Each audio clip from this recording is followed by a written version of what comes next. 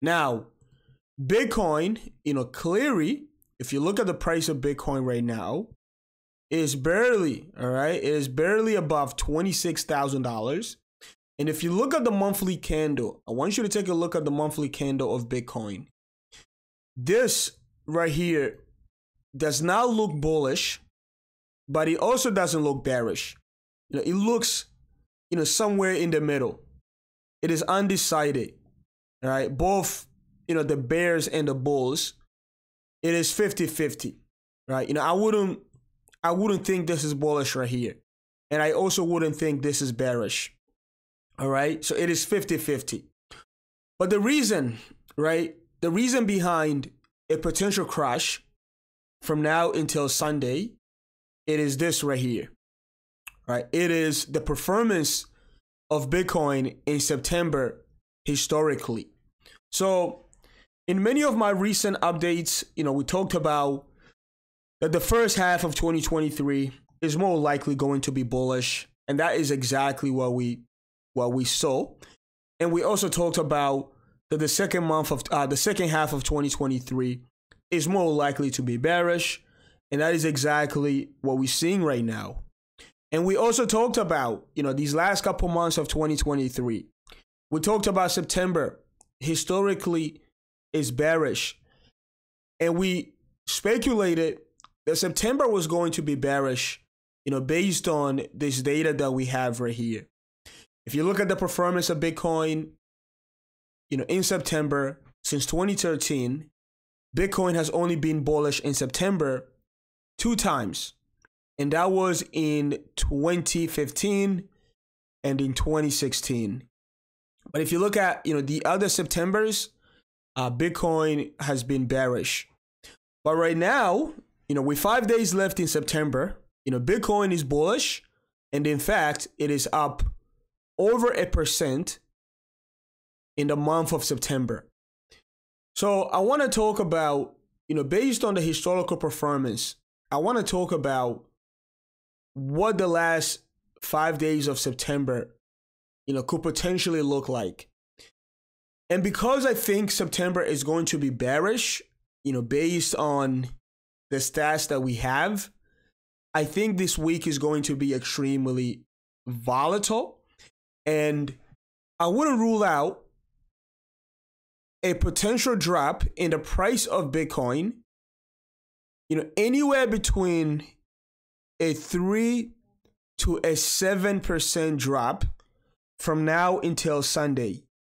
So, this upcoming Sunday, we are going to have the monthly close. If the monthly close was to close right now, you know, Bitcoin will be bullish in September by 1%. But because we have you know, five more days. And because of the nature of Bitcoin, because of the volatility of Bitcoin, I wouldn't rule out a potential drop in these five days. So that is the reason behind my speculation that these next couple days, you know, Bitcoin could potentially be volatile and we could potentially get a crash again anywhere between a 3 to a 7%. So the reason between a 3 to a 7%, you know, if you look at the you know, the last couple of Septembers uh in 2019, you know, Bitcoin was down 13%, uh 2020 7%, 2021, you know, 7%, uh 2022 3%. So I think if we do the average of these last couple of years, all right. And if you also look at 2018, uh, Bitcoin was down 5%, 2017, 7%. So I think if we do the average of these last couple of years, it is going to give us anywhere between a 3 to a 7% drop. So let me show you what that could potentially do to the price of Bitcoin or uh, in terms of, you know, price targets. So if we were to get you know, a three to a seven percent crash from twenty six thousand and one hundred dollars. Uh, that will bring the price of Bitcoin. A three percent drop, you know, brings the price of Bitcoin into the low twenty five thousand dollar range. Uh, so basically, retesting the recent lows, right? These lows right here. And if we were to get a 5% drop, you know, that brings the price of Bitcoin into the into the mid $24,000 range. All right, so $24,500. And if we were to get a 7% drop, you know, that brings Bitcoin into the low $24,000 range. So right here. And again, lots of support right here in this range right here. So that's what a 3 to a 7% drop would do to the price of Bitcoin. And in terms of potential price targets, you know, you're looking at mere $24,000 and you're also looking at the low $24,000 range and maybe in the higher $23,000 range. Interestingly, you know, if you look at potential targets, if we were to see another drop, you know, you have targets right here. All right, twenty-four thousand five hundred uh, six hundred dollars. Uh, this is a very key level right here on the monthly time frame, and then all right, you also have, you know, the bodies of these two massively, uh, these two massive, you know, monthly candles. You know, right here, around twenty three thousand dollars. Uh, interestingly, again, you know, if you go to the weekly time and you look at $23,000 all the way up to 24,000, you know, this is a very, very important range, you know, in terms of structure.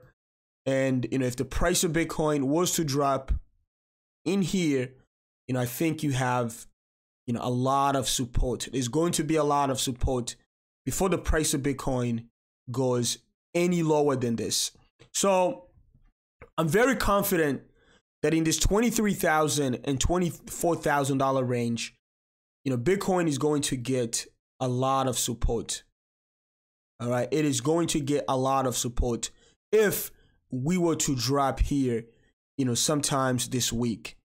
Again, you got five days from today until Sunday on Sunday, we are going to have a Bitcoin monthly close.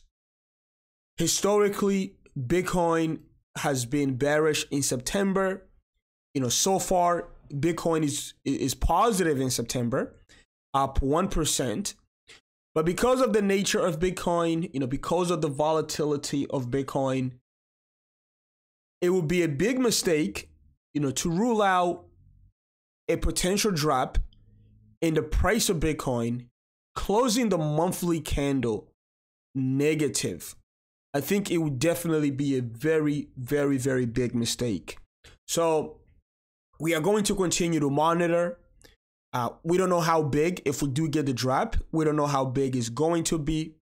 Uh, but also, if Bitcoin is positive in September, then the last three months of 2023 will be extremely interesting. And the reason is because, you know, if you look at historically uh, historical performance, you know, September tends to be negative, October tends to be bullish, November tends to be bullish as well, but December tends to be negative.